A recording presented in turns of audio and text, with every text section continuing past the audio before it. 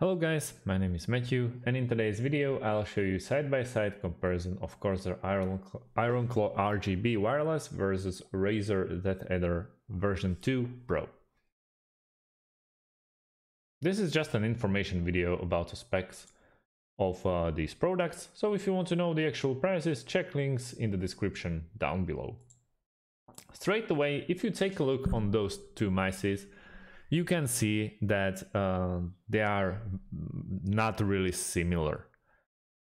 Uh, first thing, I would say that you would enjoy uh, other version 2 more if you are a FPS player and uh, only because the latency of a clicks and also it's way lighter and uh, smaller for your palm and it, you will really enjoy you will really enjoy Iron Claw if you are into MMOs.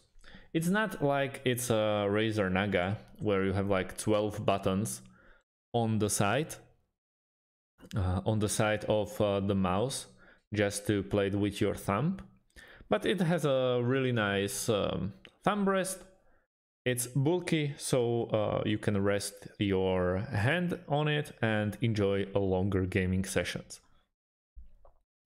But uh, for DeathAdder, well, goes every anything else that you can uh, think of.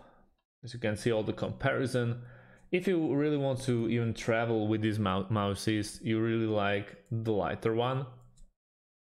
And uh, they're wireless. Both of them are wireless, so you don't have to play around with the cable. As you can see, 133 grams with Iron Claw and 88 grams with DeathAdder. So there's a huge difference in weight. Uh, other is a real, uh, it's a bit bigger, so you can rest your palm better on it. Uh, when you are using, or most of us is using palm grip,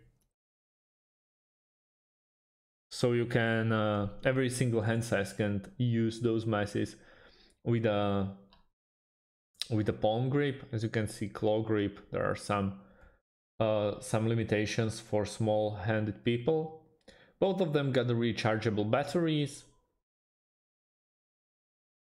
Good gliding experience. As you can see what you get in the in the packages.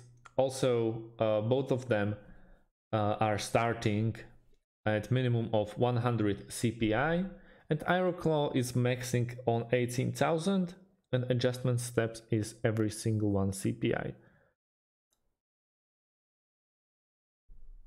DeathAdder though is using Focus Plus, starting also at 100 CPI, but maxing 20k with 50 uh, CPI adjusting steps.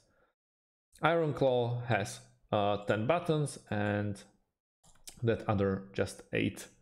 Both of them got only notched wheels and are compatible only partially with macOS. If you want something, if you want something with uh, uh, full compatibility with macOS, you should really go with Logitech uh, G Hub software. So that's about it, uh, guys. In my opinion, DeathAdder is way better mouse, even for my use. So share your opinion in the comments, uh, what your thoughts on these two products. Thanks for watching and see you on the next video.